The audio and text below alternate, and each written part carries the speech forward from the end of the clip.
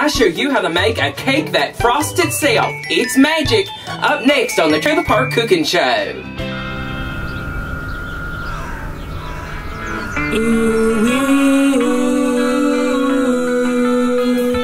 She's bringing the trailer park lifestyle to the world. Come inside, don't be shy, cause Jolene can't wait to meet ya. She's the queen of the park.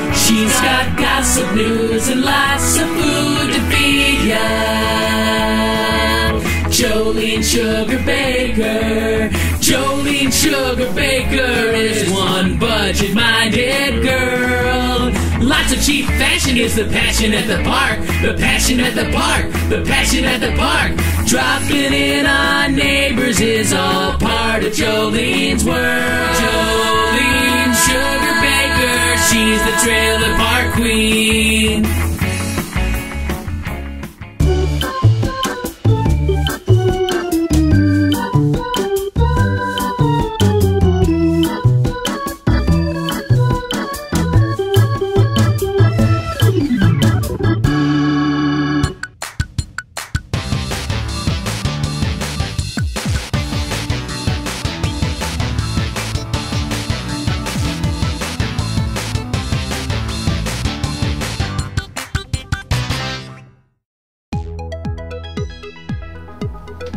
Hi there, Trailer Park fans. It's Jolene Sugarbaker, the Trailer Park Queen.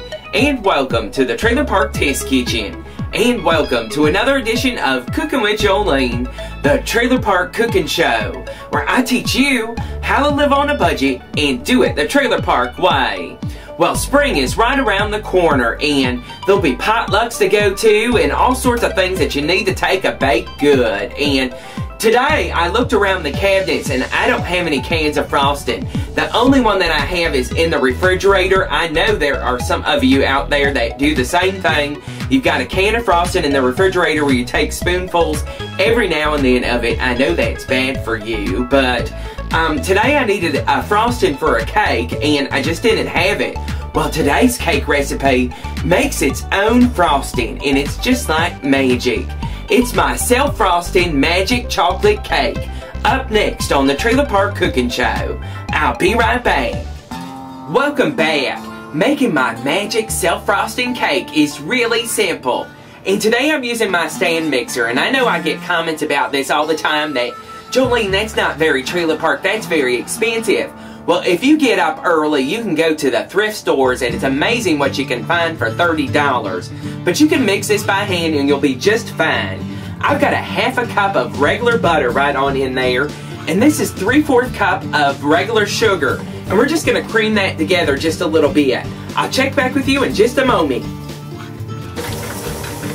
Now that you got that cream together, you're going to add two eggs. So just go ahead and put those right on in there. And I wish I had chicken still because, you know, I see everybody on Facebook and everything fighting for yard chickens. I'm with you all. I think everybody should be able to own chickens. Maybe not people in apartment complexes or something like that, but people that have a little bit of land and can take care of them. But I love chickens, and we've got two eggs in here, and let me get them going.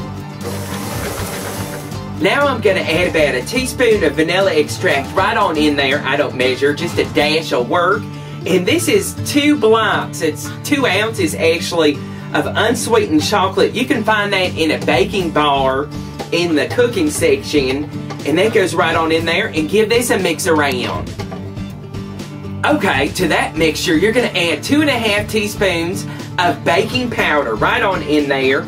You could probably sift this all out, but I don't have the time for that. And I have a half teaspoon of salt that goes right on in there. Now, this is actually one and one fourth cup of all-purpose flour, and this is two-third cup of milk. We're going to add this slowly at a time to build up a batter and keep this mixing while you do that. And I'll check back with you in just a moment.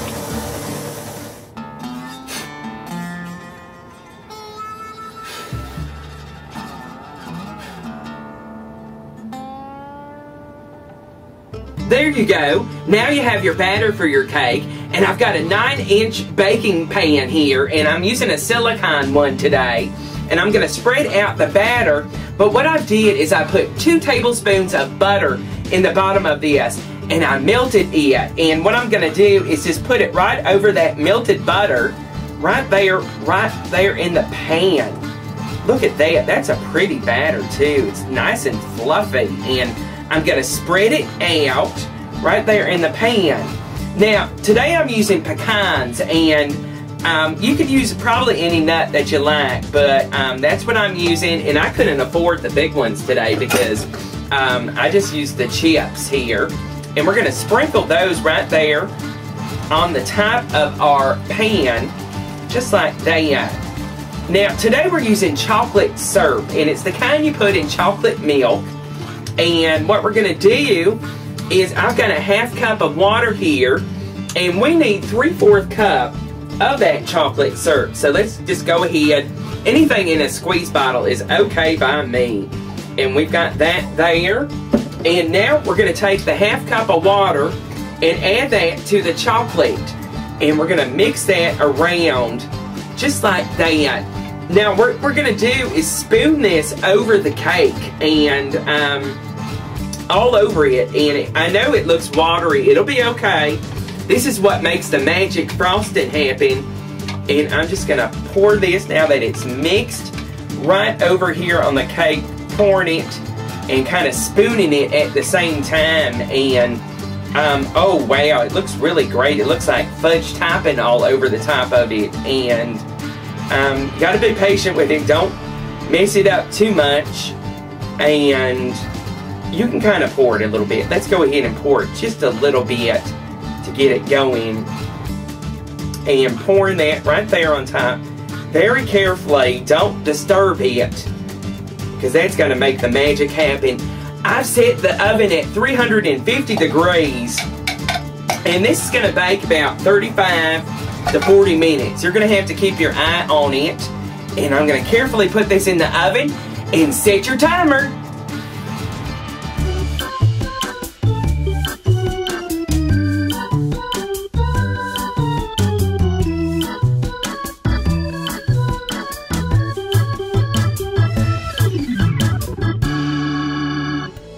And there you have it, my self-frosting magic chocolate cake.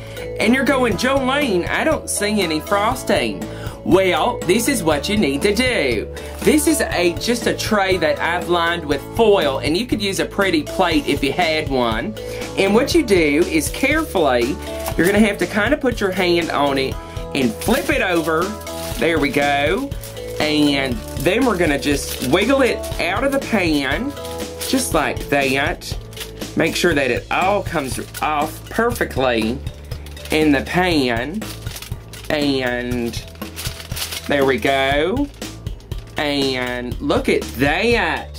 Look at that fudgy topping on the top there. All we need to do is just spread it out just a little bit.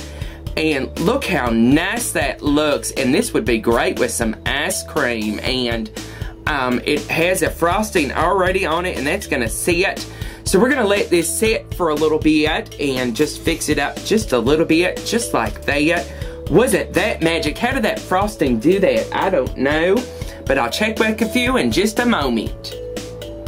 And there you have it, my magic self-frosting chocolate cake. And that sure was simple. Look at that. It looks professionally frosted up there. That chocolate is just, it just is shiny and the prettiest chocolate frosting that you've ever seen. It just magically transported itself to the top of the cake. I don't know how it did that. And it's a nice and fluffy cake too. Look at that.